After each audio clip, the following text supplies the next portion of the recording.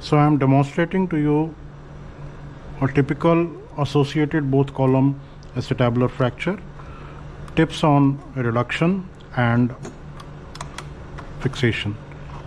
So you can see the fracture line coming out at the iliac crest. This is more posterior than anterior, coming down on the anterior column, going down on the posterior column.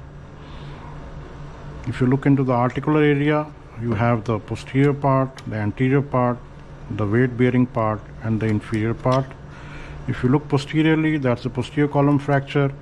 There is a posterior wall undisplaced fracture. So we typically uh, reduce them using various clamps, which could be angulated, straight, of unequal length, or large equal length clamps. And then there could be different clamps uh, which have uh, different functionality so I would try to use these clamps and let you know how best you can uh, get them into the pelvis. So when you reduce uh, these fractures you start from back to front you go from top to bottom. This is the dictum. So the first step is to get the iliac crest right. So you put a wire in the large fragment use it at a joystick get a reduction using a pointed tong and pass your wire ahead try to get the wire uh, oblique perpendicular to the fracture so that you can get the best fixation. If you still want to improve your fixation you can use uh, various clamps. Uh, here I have put some screws for you beforehand so that you can uh, understand how you can use this clamp. So you get it on the top. You get it on the top of the screws and you reduce it. So it's a self-locking it's a self-locking mechanism. So once you compress it will lock over there.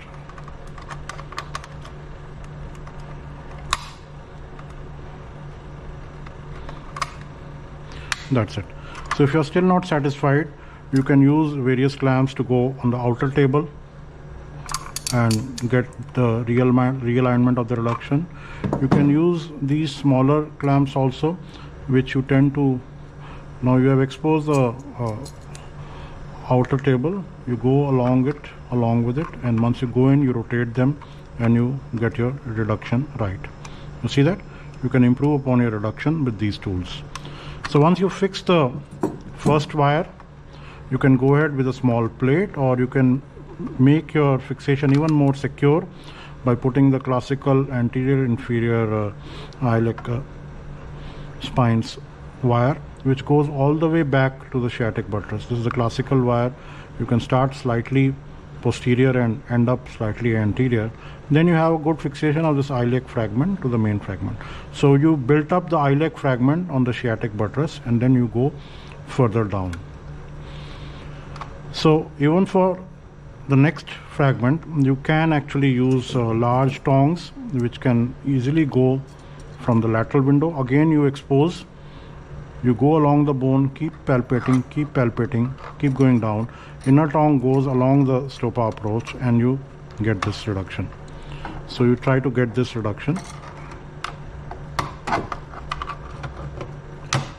You try to get this reduction. Once you got this reduction you tighten your clamp and you can put this wire which is very easily placed using the Stoppa's window.